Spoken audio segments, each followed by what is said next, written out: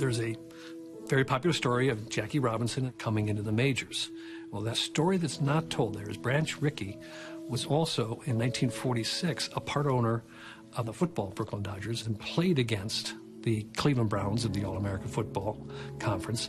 And Branch Rickey once told Marion Motley, he said, Had I not had the experience of seeing you and Bill Willis play in a contact sport without incident, I might not have had the courage to bring Jackie Robinson up into the majors. These men integrating football a year before Jackie Robinson is crucially important.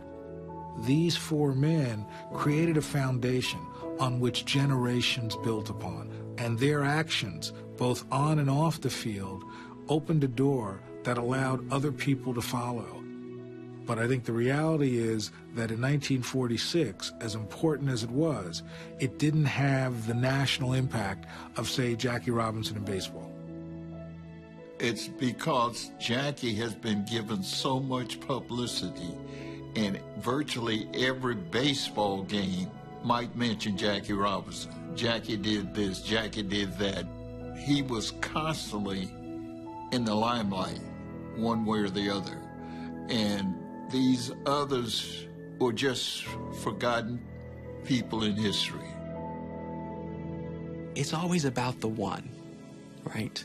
We're always looking for that one. And so once Jackie Robinson became the one, became the archetype, nobody else could step in that space. It, it was already filled. And in America, there's been a long tradition a very long tradition of seeing the singular, exceptional black person as a stand in for not the story of black heroism, courage, and triumph, but the story of American exceptionalism. So Jackie was chosen. Bill Willis, Marion Motley, Kenny Washington, Woody Strode, they never had the adulation, they never really gained the acknowledgement that, say, a Jackie Robinson did for what they did for pro football. And they're bonded by the fact that the wall came crashing down in two leagues, by the way.